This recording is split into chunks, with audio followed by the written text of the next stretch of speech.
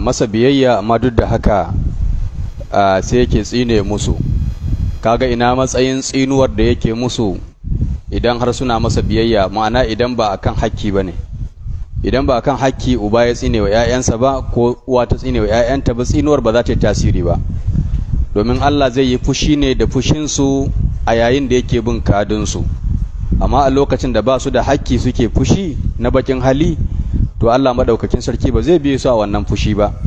Don haka ba zai karɓi kalmar su ta tsinuwa ko Allah wadai da suka yi 'ya'yansu a irin wannan yanayi ba. Tare da hakan kuma 'ya'yan su yi ƙoƙari wajen su ga cewa sun kiyaye hakkokin su kuma sun yi biyayya kuma ko da su ne suke da gaskiya kada wannan ya sa su fanɗare ko su fasa abin da suke na biyayya. Allah ta'ala ya shirya da mu. To tun da lokaci ya riga ya tafi za mu ci gaba da karatun alkur'ani mai girma daga fadin Allah ta'ala wa nada nuhu rabbahu fa qala rabbi inna ibni min ahli أعوذ بالله من الشيطان الرجيم بسم الله الرحمن الرحيم ونادى نوح ربه فقال رب إن ابني من أهلي وإن وعدك الحق وإن وعدك الحق وأنت أحكم الحاكمين. قال يا نوح إنه ليس من أهلك إنه عمل غير صالح فلا تسألني ما ليس لك به علم. إني أعظك أن تكون من الجاهلين قال رب إني أعوذ بك أن أسألك ما ليس لي به علم وإلا تغفر لي وترحمني أكن من الخاسرين Ubangiji ta'ala ya ce, Wanada Nuhu rabbahu faƙala rabbi inna ibni min ahli wa inna wa'daka alhaqqu wa anta ahkamul hakimin. قال يا نوح إنه ليس من أهلك إنه عمل غير صالح فلا تسألني ما ليس لك به علم إني أعظك أن تكون من الجاهلين قال رب إني أعوذ بك أن أسألك ما ليس لي به علم وإلا تغفر لي وترحمني أكن من الخاسرين جي من كرنت ورنان آيوي النبي نوح عليه السلام ya koka wa ubangijinsa ya kira Allah wanada nuhu rabbahu nuhu ya kira ubangijinsa faƙala rabbi innabni min ahali ya ce ya ubangiji na lallai ɗana yana daga iyalaina wa inna wa'adaka alhaqqu kuma lallai alkawarinka gaskiya ne wa anta ahkamul hakimin. Amma fa kai kai ne mafi hukuncin masu hukunci. Bayan Allah subhanahu wa ta'ala ya yi umarni da sama ta tsai da ruwa, ƙasa ta tsai da ruwa, kuma ruwa ya tsantsame, jirgin annabi Nuhu ya daidaita akan dutsen Judi. Wasu malaman tafsiri suka ce a lokacin ne annabi Nuhu sai ya yi kwaɗayin Allah subhanahu wa ta'ala ya dawo masa da ɗansa kar ya hallakar da shi. Domin ya san Allah mai iko ne in ya ga damar a ce ɗan bai halaka ba yana nan, to yana da iko akan haka. Wasu malaman tafsirin suka ce a labarin ne wato ba jera shi aka yi ba. Tun kafin su hallakan ne annabi nuhu ya yi wannan roƙo. To a koma yaushe ne ne annabi nuhu ya roƙi allah da cewa ɗana yana daga iyalaina ya allah. Abin da yake nufi da wannan maganar shine abin da muka karanta a karatun da ya gabata da allah maɗaukakin sarki ya umarce shi da ya ɗauki jinsin halittu mace da namiji a wannan kwale-kwale kuma ya ɗauka da iyalansa da duk wani mumini. To sai yake yi wa Allah hujja da cewa to ai ya ubangiji ɗana yana cikin iyalaina. To shi a tsammaninsa cewa in dai iyalinsa ne to wato kowa zai shiga har wanda bai yi imani ba zai ci albarkacin iyali sai ya shiga. To shine yake cewa Allah madaukakin sarki ɗana na daga iyalaina. A zatonsa sunan iyalan ɗan zai ci ko da bai ci sunan imani ba. Sannan amma tare da haka ya sallama wa Allah wa anta ahkamul hakimin da ya ce ya Allah kai ne mafi hukuncin masu hukunci. Wato idan ka yi hukuncin halakar ɗan to kai ne mafificin masu hukunci. Hukuncinka ba a gyara. Wallahu ya hukumu la mu'aqqiba li hukmihi. Allah yana hukunci ba mai cin kafar hukuncin Allah ko yayi gyara. Qala sai Allah ya ce ya nuhu innahu laysa min ahlika. Kaga nuhu wannan baya daga iyalanka. Baya daga iyalanka. Lafazin innahu laysa min ahlika baya daga daga iyalanka yana komawa shi ɗan ne. Shi annabi nuhu ya ce innabni min ahli. Allah ya ce innahu laysa min ahlika ba daga iyalanka. Wannan yasa malaman tafsiri suka dubi wannan lafazin da ma'anoni daban-daban. Wasu suke cewa innahu laysa min ahlika abin da ake nufi da shi shine wannan yaron baya daga iyalanka don ba ɗanka ba ne. Domin ba ɗanka ba ne. An samu wannan fahimtar cikin magabata tabi'ai daga alhassanul basari rahimahullahu ta'ala da irin su mujahid da wadda suka tafi akan wannan fahimta cewa abin da ake nufi ai abin da baka sani ba ai baya daga cikin iyalanka. Uwar shi ce ta maka dodorudo ta yi cikinsa ta haifa maka shi kake ta masa kallon ɗa da haka ba ɗanka ba ne. Kai ne ka ɗauke shi a matsayin ɗa amma yau dalili ya yi a sanar da kai cewa baya cikin iyalanka ba ɗanka ba ne. Suka yi hujja da faɗin Allah ta'ala wa daraba Allahu mathalan lil ladina kafaru imra'ata nuhin wa imra'ata lutin kanata tahta abdaini min ibadina salihaini fa khanatahuma. Allah ya buga wa kafirai misali ga annabi Nuhu nan ga annabi Lutu nan bayin Allah ne salihan bayi. Akwai matayensu da suke rayuwa ƙarƙashinsu a matsayin matan aure amma sai suka ha'ince su. Wannan lafazin na fakhanatahuma sai suka ha'ince su sai ya ɗauki hankalin alhassan albasari rahimahullahu ta'ala sai ya mai da shi akan ma'anar ha'inci irin na auratayya. Da haka matar annabi nuhu akan wannan fahimta shine ta ha'ince shi ta yi masa cikin shege ta haifi ɗa da yake masa kallon ɗa ɗansa.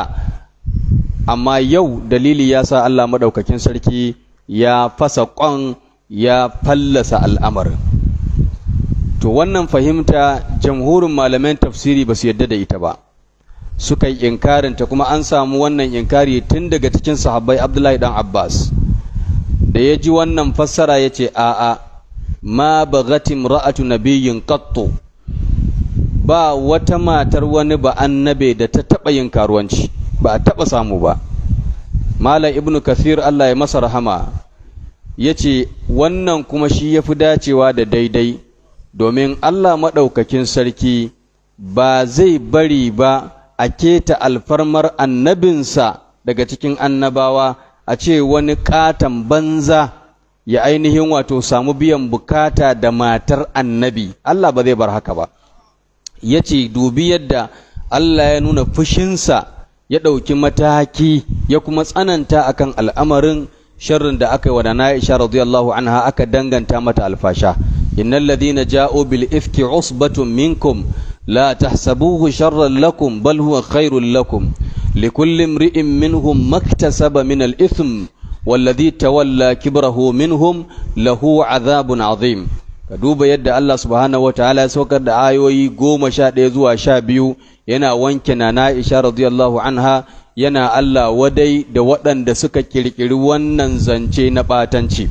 Shin Allah subhanahu wa ta'ala a nan ya yi wannan kariya ne ya nuna fushinsa akan wannan al'amari ne saboda ita Aisha ce ko saboda ita matar annabi ce? Babu ko shakka Allah ya shiga wannan lamarin ne domin ya tsarkake annabinsa. Kishi yake wa annabinsa sallallahu alaihi wasallama a ce wani ƙato haka kawai ya samu ya samu dama akan akan matar annabinsa. Don haka Allah subhanahu wataala ya shiga lamarin da ayoyi ya wanke na Aisha ya kawo waraka a cikin wannan lamari. Duk saboda alfarmar annabi Muhammad sallallahu alaihi wasallam da kuma kare mutuncinsa da kuma kare martabar firashinsa wato shimfiɗinsa. Ina fata an gane. To haka sauran annabawa. Don haka malamai tafsiri da dama suka yi caccaka akan wannan fahimta suka ce zance na gaskiya cewa ma ba, wato wannan yaro ɗan shege ne ba ɗan annabi Nuhu ba ne alaihi salam wato wannan yana daga kuskuren fahimta. Zance wadda yake na daidai a wannan yaro ɗansa ne. Domin Allah maɗaukakin sarki ma da kansa ai ya ce ɗansa ko? Wanada Nuhu nibnahu Nuhu sai ya kira ɗansa. Kaga inda a wurin Allah ba ɗansa ba ne da a wurin ma ba zai ce ɗansa ba. Don haka mas'alar ba wai ta ba ɗansa na haifuwa ba ne. Don haka menene ake nufi da innahu laysa min ahlika? Nuhu wannan wannan yaro baya daga iyalanka. Malaman tafsiri suka ce abin da wannan jumla take nufi shine Nuhu wannan yaro baya daga iyalanka da na alkawarta zan kuɓutar da su. Baya daga iyalanka da na alkawarta za su tsira. Domin Allah maɗaukakin sarki dama ya ce wa ahlaka illa man sabaka alaihi alqawlu. Ka ɗauka da iyalanka sai in wanda umarninmu ya rigaye shi. Shi kan banda shi ba zai samu shiga ba. A wata aya wa ahlaka illa man sabaka alaihi alqawlu minhum.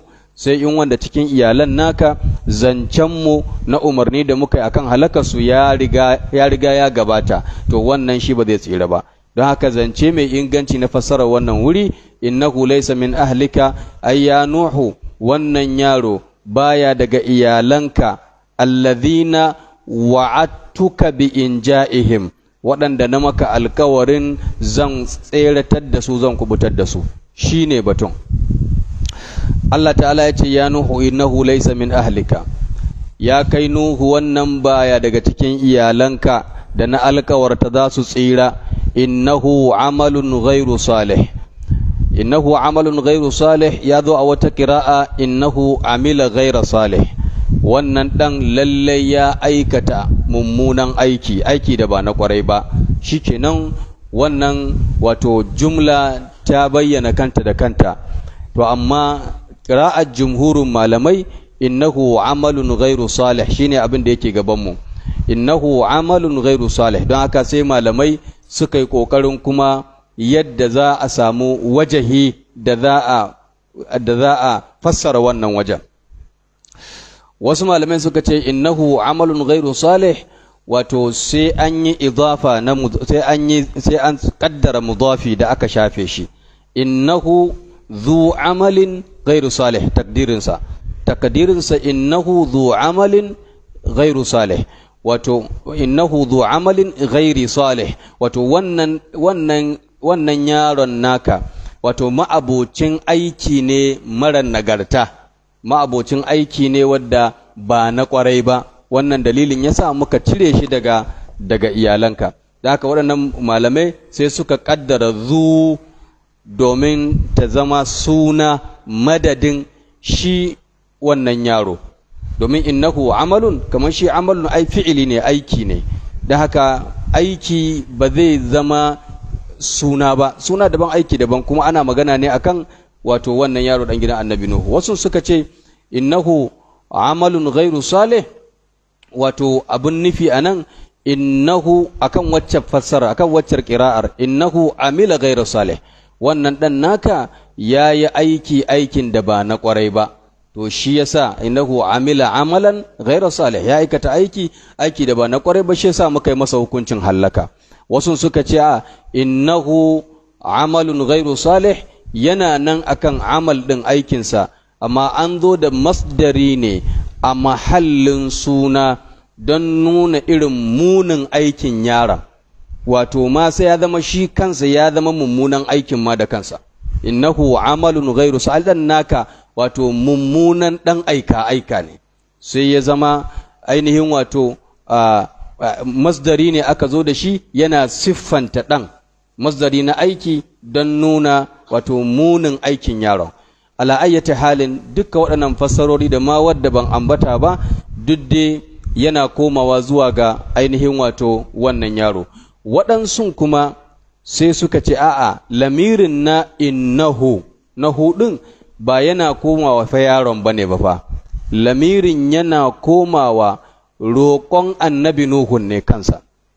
Da wannan wannan fassarar na ganta a cikin tasiru karimin rahman na Sheikh Abdulrahman ibn Nasir Sa'idi rahimahullahu ta'ala kuma kamar ya karkata zuwa gare ta dan bai ma kawo wata fahimta ba wannan ba.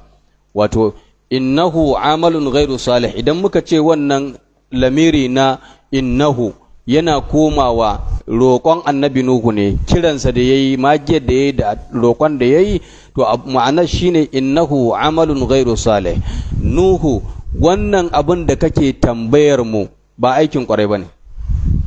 An gane? Wato lamirin kenan na hudun ba ma yana komawa dan ba ne. Shi da an gama da shi. Ya Nuhu innahu laysa min ahlika. Wannan yaron baya daga iyalanka da na hukunta za su tsira. Innahu amalun ghairu salih. Kuma roƙon da kake min ba aikin ƙwarai ba ne. Sai suka mai da lamirin hu ya koma zuwa ga roƙon da annabi nuhu yake yi. Fala tas'alni ma laysa laka bihi ilmun. To kuma wannan fahimtar idan kana so ka ƙarfafa ta to abin da ya biyo bayanta. Fala tas'alni ma laysa laka bihi ilm wato wannan roƙon naka da wannan magiyar taka ba aikin ƙwarai ba ne kada ka tambaye ni abin da ba ka da ilimi a kansa. Wato kar kai mini kwakwa har sai ka ji shiri na da tanadi na har sai na bayyana maka suruna kafin ka mika wuya. Inni a'idhuka inna yi maka wa'azi da jan hankali an takuna minal jahilin don kada ka zama daga cikin jahilai. Sai Allah ke jan hankalin annabi Nuhu alaihi salatu wassalam kar ya mayar da kansa wato kamar jahili ta yadda ba zai gamsu da abu ba sai an masa kwakwaf. Ta yadda shi ba zai gane ba sai an masa cikakken bayani. Kuma ba a haka da Allah. Ba a haka da Allah. Ba a yi wa Allah kwakwaf kuma ba a cewa ba a nutsu ba sai an gane. Idan Allah ya ba da umarni muminai bi suke yi. In ya hana hannuwa suke yi. Ba sai an yi analysis ba kafin a yarda. An gane ko? To Allah subhanahu wataala shi ba a masa binciken kwakwaf la yus'alu amma yaf'alu wa hum yus'alun. Shi Allah ba a tambayansa abin da yake yi. Su dai bayi su ne ababen tambaya. Kowa kullukum ra'in wa kullukum mas'ulun an ra'iyatihi. Kowa an danka kiyo a hannunsa kuma kowa za a tambaye shi abin da aka bashi kiyo. To amma shi Allah ba a tambayarsa. Ba ka cewa me yasa Allah yayi kaza ko me yasa Allah bai yi kaza ba. Kawai in yayi to an gama. Dan haka da da yayi hukunci akan dan wato annabi Nuhu sai ya ja bakin sa ya shiru an gama. Tare da cewa ya zo da ladabi ya ce wa anta ahkamul hakimin. Ya Allah kai ne in kayi hukuncin hallakarsa to fa kai ne ƙarshe a hukunci. Na sallama na mika wuya. To amma duk da haka Allah maɗaukakin sarki shi mai tarbiyyantarwa ne mai ladabtarwa ne. Don haka sai nuna wa annabi Nuhu alaihi salat ya daina irin wannan kwakwa na sai ya san sirrin da ke wajen Allah maɗaukakin sarki. Qala annabi Nuhu ya ji wannan jan hankali sai ya ce inni a'udhu bika an as'alaka ma laysa li bihi ilmun. Ya Allah ina neman tsarinka ka tsare ni. Ina neman tsarinka akan daga na dinga roƙonka abin da ban da ilimi a kansa. Ko da ban gane ba in dai kayi to shi kenan ya wuce. Ko da ban gane ba in haka ne kace to shi kenan ya wuce. Wala wala wa illa taghfir li wa tarhamni akun minal khasirin. Ya Allah idan baka gafarta mini abin da na yi ba idan baka ji kaina ba akan abin da na yi lallai zan kasance daga cikin taɓaɓɓu wato asararru. Babu ko shakka annabi nuhu ba zai zama cikin asararru ba domin Allah ɗin zai gafarta masa kuma Allah zai ji kansa an yi ma an yi ma an gama. Domin can ma da ya ce da ya ja hankalin nasa ai bai riga ya sanya shi cikin jahilan ba. Ya ce ina yi maka wa'azi kada ka fada cikin jahilai. Kaga bai riga ya fada jahilan ba. To amma duk da haka ladabi irin na annabi nuhu alaihi salatu wassalam da yadda annabawan Allah suke da ubangijinsu to shine akwai gaggawar tuba da komawa din zuwa ga Allah madaukakin sarki. Sai Allah ya ce قيل يا نوح اهبط بسلام منا وبركات عليك وعلى أمم ممن معك. قيل يا نوح اهبط بسلام منا وبركات عليك وعلى أمم ممن معك. وأمم سنمتعهم ثم يمسهم منا عذاب أليم. تلك من أنباء الغيب نوحيها إليك ما كنت تعلمها أنت ولا قومك من قبل هذا فاصبر إن العاقبة للمتقين Ubangiji ta'ala ya ce, Kila ya Nuhu bitu bi salamin minna wa barakatin alaika wa wa umamun sanumatti'uhum thumma yamassuhum minna azabun alim. Tilka min anba'il ghaibi nuhiha ilayka. Ma kunta ta'lamuha anta wala qaumuka min qabli hadha fasbir. Innal aqibata lil muttaqin. Kila ya nuhu ihbitu bi salamin minna. Sai aka ce ya nuhu ya kai annabi nuhu ihbitu bi minna. Ka sauka cikin aminci daga gare mu in ji Allah kenan. Wato kira ne daga Allah. Sauka cikin aminci daga gare mu. Wa barakatin alaika da kuma albarkatu su tabbata a kanka. Wa ala umamin mimman ma'aka haka su tabbata akan wasu al'ummomi min man ma'aka daga al'ummomin da ke tare da kai wa umamun sanumatti'uhum. Amma wasu al'ummomin kan da sannu za mu jiyar da su daɗi a nan gidan duniya sun maye masu minna azabun alim. Sannan azaba mai raɗaɗe ta kan masu daga gare mu in ji Allah subhanahu wa ta'ala. Wannan aya idan kun kula bayan an riga da an gama jirgi ya tsaya. Annabi nuhu ya zo da ƙorafi an ba shi amsa an wuce wannan waje. Yanzu abin da ya rage shi ne za a sauka. Kowa ya ƙare jama'a. Duniya ta yi tsit. An kashe kowa in ban da wadda yake wannan kwale-kwalen. Kuma wadda suke kwale-kwalen mace da namiji ne mace da namiji. Sauran duk sun halaka. Kowa ya ƙare. Abin da zai baka tsoro wannan labarin fa na tufana. Wannan labarin na tufana ba kaɗai alkur'ani yake ba. Galibin addinai sun yi magana akan tufana. Tufana tarihi ya tabbatar da an yi tufana. Kafirai ma suna da shi a tarihi. To ba wannan ne abin da zai baka tsoro ba. Tun da aka yi tufana ka duba irin yadda Allah maɗaukakin sarki ya yi kulikulin kubura da, halittu. Aka ƙarar da su in banda wadda yake cikin wannan kwale-kwale amma har yau ba a sake tada zancen ba. To wannan yana nuna maka ƙarfin Allah da isarsa tare da cewa yanzu an yi hukumomi a duniya na bin kadin hakkin ɗan adam tsohon hakki da sabon hakki. Amma fa wannan bai sa an tada wannan zancen ba a majalisar ɗinkin duniya. A ce bari a tada wannan zancen abu kadansa me yasa aka yi ɗufana an shiga hakkin halittu. To duk wadda Allah ya kama shi ba shi da mai kwatarsa. An gama komai sai Allah ya ce ya aiko da saƙo aka ce da annabi Nuhu ihbitu so sauka bi salamin minna da aminci daga cikinmu. Wato wajen saukar ma yadda Allah ya amintar da su to haka wajen sauka ma za sauka cikin aminci. Wa barakatin alaika da kuma albarkatu su tabbata a kanka. Amma ba kai kadai ba wa ala umamin mimman ma'aka. Har ma da al'ummomi na al'ummomin da ke tattare da kai. Nan malamai sun yi fassara biyu. Albarkatu su tabbata a kanka. Kun san albarkatu shine tarin alkhairai.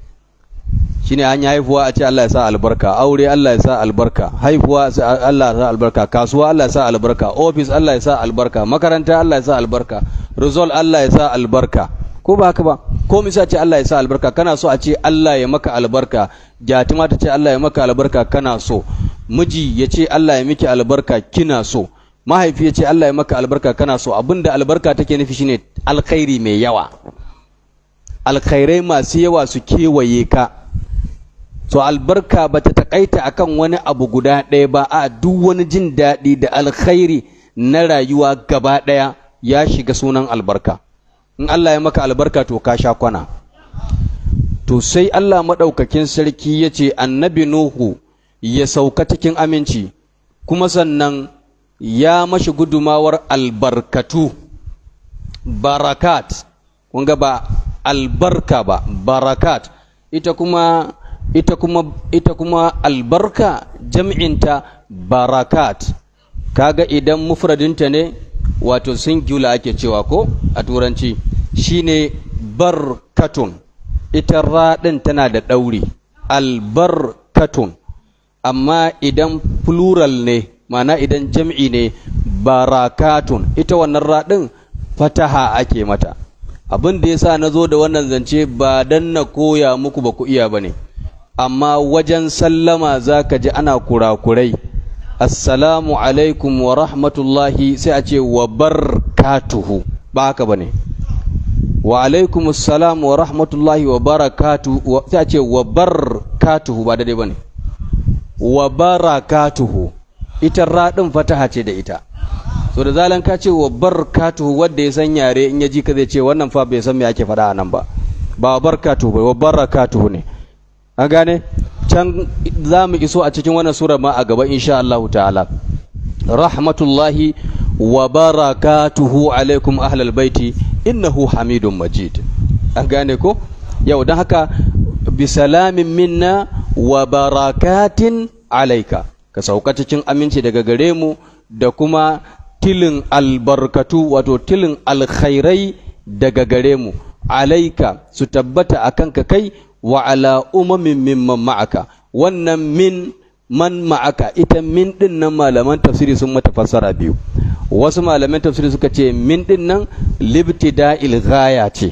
Ma'ana min ɗin nan tana nuna cewa wannan albarkar za ta fara daga kan waɗannan da suke kwale-kwale har zuwa tashin alkiyama zai shafi har zuriyarsu. Wa barakatin alaika da alkhairai a kanka kai Nuhu wa ala umamin da kuma akan wasu wasu daga al'ummomi min masu zuwa daga mamma'aka wadda suke tare da kai. Sai ya zama albarkatun nan da alkhairan nan mu ma har yanzu wato suna nan suna shafan mu kuma haka ne. Ga nan duk a cikin albarkar. Saboda ai an ɗauko jinsi ne mace da namiji. Allah subhanahu wata'ala sai ya sanya albarka a zuriyar gaba ɗaya har zuwa tashin alkiyama shi yasa da Allah madaukakin sarki cikin suratu Maryam ya ambaci Zakariya ya ambaci Yahaya ya ambaci Maryamu ya ambaci ɗanta Annabi Isa ya ambaci Ibrahimu ya ambaci Ishaq ya ambaci Yaqub ya ambaci Musa ya ambaci Isma'il ya ambaci Idris sai ce ula'ikan ladina an'ama Allahu alaihim minan nabiyina min zurriyati Adama wa mimman hamalna ma'a Nuhin wa min zurriyati Ibrahima wa Isra'ila wa mimman hadaina wajtabaina da haka wato kenan a wannan albarkar ta sha ta biyo baya ta shafi zuriyar gaba ɗaya har zuwa tashin alkiyama. Shi yasa wannan fassarar din wato tafi gardi saboda mu ma mun samu mun shiga ciki. Shine wa barakatin alayka wa ala umamin mimman ma'aka. Albarka ta tabbata akan ka ya kai nuhu wa ala umamin da kuma wasu al'ummomi min waɗanda wato za su zo mimman ma'aka daga waɗanda ke tare da kai a kwale-kwalen nan. Wasu suka ce a amin ɗin nan li bayanil jinsi ce. Da haka min ce kawai jinsiya. Da haka tana da fassara tana da alaka ne da wato al'ummomin da ke tare da shi. Wa barakatin alaika da albarkatu su tabbata a kanka ya nuhu wa ala umamin mimman ma'aka da kuma al'ummomin da ke tare da kai. Da kuma al'ummomin wasu al'ummomin da ke tare da kai. Domin umamun na kiraj yana nuna cewa ba duka ba wasu al'ummomin da ke tare da kai. Wa umamun amma wasu kam al'ummomin da ke tare da kai ɗin sanumatti'uhum za dai mu jiyar da su daɗi a nan gidan duniya. Thumma yamassuhum minna azabun alim. Sannan sai azaba mai raɗaɗi kuma ta cin musu daga gare mu inji Allah subhanahu wataala wannan yana nuna mana cewa jirgin annabi Nuhu ya ɗebo tarkace. An gane ko? Ya ɗebo tarkace. Akwai umamun sanumatti akwai umamun akwai barakatin alayka wa ala umamin mimman ma'aka. Akwai ummatul baraka. An gane ko? Wa umamun sanumatti'uhum thumma yamassuhum minna azabun alim. Da haka akwai ummatu sa'ada akwai ummatu shakawa a wannan kwale-kwale. A dai wannan azabar da Allah ya aiko duk wanda yake kwale-kwalen ya tsira. Amma fa ba duk wanda yake kwale-kwalen ne kuma ya tsere wa azabar lahira ba. To ba ga shi hadda su bera ba. Wanda annabi ma sai da ya ce masa fasiki. Malam Uthaymin ina karantawa ya ce ai bera babu alheri tare da shi ko na mitkala zarratin na ce malamin nan najin bera ya mata adi. Ya ce bera babu alheri tare da shi ko na mitkala zarratin ba abin da ya sani sai barna sai ta adi kuma ba zai kawo alheri komai ba a gida. to haddasu a ciki.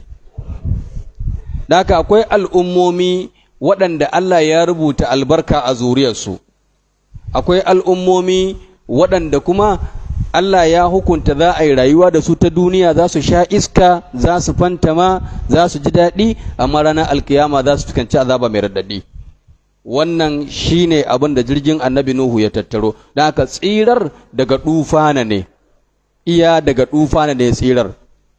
akwai waɗanda daga nan sun tsira daga kowace irin musiba ta azabar Allah maɗaukakin sarki Allah ya samu na cikin su akwai waɗanda kuma Allah ya rubuta musu wata azaba a nan gaba Allah ta'ala ka tsare mu daga azabarka.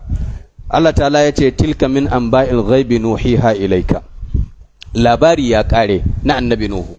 Sai Allah ya ce tilka waɗancan labarai waɗancan bayanai min anba'il ghaibi wato suna daga labarai na gaibu. Nuhiha ilaika da muke wahayinsu zuwa gare ka. Domin wahayi shine a shigar masa zuwa ga zuciyarsa ta wata hanyar da wato ba za a iya shaida ta ba. Allah maɗaukakin sarki ya yi maka wahayi ya sanar da kai ta hanyar da waɗanda ke tare da kai ba za su iya shaida irin wannan hanya ba. Amma fa labarai ne na gaibu. Ma'anar labarai gaibu shine labarai ne wadda suke cikin sirrin Allah maɗaukakin sarki shi kaɗai yake ɓanta da saninsu. Domin ilimin gaibu abin da yake nufi shine wato ilimin da Allah yake ɓanta da shi. Ba za ka fassara gaibu da wata ma'ana ba wannan ba ta zauna. Shine ilimin da Allah yake ɓanta da shi shine gaibu. Shi sa ba wanda yake sanin gaibu sai Allah. Domin idan ka ce wani ya san gaibu ba Allah ba to fa abin da kake so ka ce shine akwai wanda suke daidai da Allah a ilimi. Allah subhanahu wa ta'ala ya, ya, ya sha bamban da halittunsa wajen ilimi. Domin ya sani kafinsu kuma ya san me zai faru a bayansu. Sannan ya san me ke faruwa a lokacin da suke nan. Ya san su a dunkule ya san su a ɗaiɗaikunsu. Ya kewaye da ilimin kowanne abu kowace halitta Allah ya kewaye da iliminta. Ilimin Allah yana da faɗi yana da girma yana da yawa. Idan ka ce wani ya san gaibu ba Allah ba to abin da kake nufi abin da kake cewa in baka fahimta ba shine duk waɗannan abubuwan ya san su. Wannan da kake jingina masa gaibin ya san farko ya san ƙarshe. Sannan kuma ya san tsakiya. Sannan ya kewaye da kowace halitta. To daga nan kuma idan ka bashi wannan iko to ka daidaita shi da ubangiji subhanahu wataala kisa yana da hatsari jingida wani sanin gaibu ba Allah ba. Allah subhanahu wataala shi kadai yake banta da sanin gaibu domin ilimi ne da yake banta da shi ilimi ne na sirri da ke wajensa. Amma yakan sanar da mala'iku yakan sanar da wanda ya zaɓa cikin annabawansa.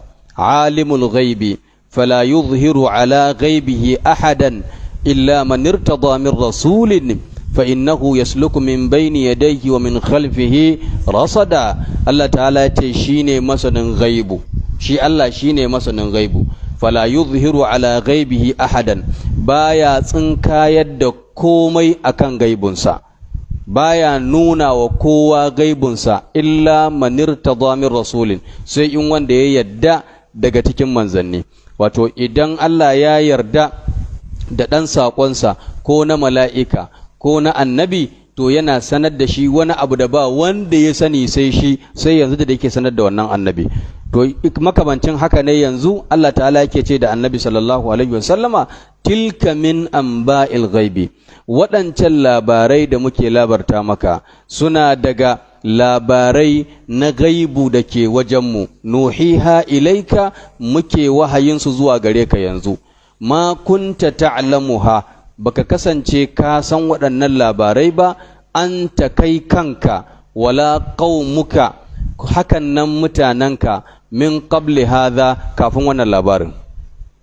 Baka kasance kana sane da wannan labarin ba ko kai ko mutanenka min qabli hadha kafin wannan labarin. Me yasa? Saboda annabi sallallahu alaihi wasallam Allah ya tsare masa wato annabtarsa ta hanyar hana shi koyon karatu ko rubutu. Domin ya ba annabtar kariya. Wa ma kunta tatlu min qablihi min kitabin wala takhutuhu bi yaminik. Idan lartabal mubtilun. Allah ta'ala ya ce kafin zuwan alkur'ani ma kunta tatlu min kitabin. Baka kasance kana karanta wani littafi ba. Wala takhutuhu bi yaminik. Sannan baka kasance mai rubutu da hannunka ba kafin zuwan alkur'ani idan inda ka zama mai iya karatu ko ka zama mai iya rubutu lartabal mubtilun da mabarnata sun samu kafar da za su yi shakka su riƙa sanya mutane a cikin shakka. Ce ai karantowa kai a wani tsohon littafi a wani laburari ce ai dama tunda an san ka ƙwararren marubuci ne kana zama ne kana tsara wannan abu. To sai Allah ya tare wannan tuhumar ta hanyar ma shi annabi sallallahu alaihi wasallama duk ƙureshawa sun san ba mai rubutu ba ne ba mai karatu ba ne. Da haka idan ya zo da ilimi to sun san ba karantowa yi ba. Idan ya zo da littafi sun san ba rubutawa yayi ba. Kuma sai ya zo da ilimin da sun ji shi a wajen kakanninsu ko sun san shi a taura ko sun san shi a injila. Suna da burburshin sani a kansa sai ya zo musu da wasu sirru da ke cikin ma labarin ko ilimin. Saboda Allah maɗaukakin sarki ya ƙara ƙarfafar annabinsa da ainihin wato irin wannan hikima. To kai baka sani ba ko kai ko al'ummarka kafin mu baka wannan labarin. Allah ya ce fasbir. To amma ka yi haƙuri. Ka yi haƙuri tunda yanzu an baka labarin abin da ya faru da ɗan uwanka annabi da abubuwan da suka faru to kai ma sai wannan labarin ya zame maka izina da darasi kai ma ka yi haƙuri tunda shi shekararsa dubu ba shekara hamsin ɗari tara da hamsin ولقد أرسلنا نوحا إلى قومه فلبث فيهم ألف سنة إلا خمسين عاما فأخذهم الطوفان وهم ظالمون sai ruwan dufana ya ɗauke su saboda sun ƙi imani. Fasbir to kai ma sai ka yi haƙuri ba kai ne farau ba kuma ka ji irin rigingimin da aka yi a baya. Inna la'aqibata lil muttaqin. Allah ya ce lallai kyakkyawan ƙarshe na masu tsoron Allah ne. Duk wanda suke da takawa suke da tsoron Allah to su ne waɗanda Allah maɗaukakin sarki yake musu arzikin kyakkyawan ƙarshe. Ubangiji Allah ka arzuta mu da takawa Allah ka ba mu ikon tsoronka ka ba mu ikon aikata ayyukan alkhairi. Ubangiji Allah ka tsare mu ka tsare zukatanmu daga ayyukan sharri. Allah muna roƙonka ya Allah ka ba mu ikon bauta maka kamar yadda ka zaɓa ka ba mu ikon bauta maka da abin da ka yarda. Ya Allah ka ba mu ikon tuba kafin mutuwa. Abin da muka yi na daidai ubangiji Allah ka tara mu a cikin lada. Abin da ya zama kuskure daga ni ne Allah ka gafarta mini. wa sallallahu wa sallim ala nabiyil karim wa ala alihi wa sahbihi ajma'in ina tuna wa yan uwa cewa gobe idan Allah ya kai mu ne muke da gidauniya ta marayu ranar mu ta farko wato laraba Allah madaukakin sarki ya ba mu ikon halartowa da gudumawoyin mu ربنا آتنا في الدنيا حسنة وفي الآخرة حسنة وقنا عذاب النار ربنا لا تزغ قلوبنا بعد إذ هديتنا وهب لنا من لدنك رحمة إنك أنت الوهاب سبحانك اللهم وبحمدك أشهد أن لا إله إلا أنت أستغفرك اللهم وأتوب إليك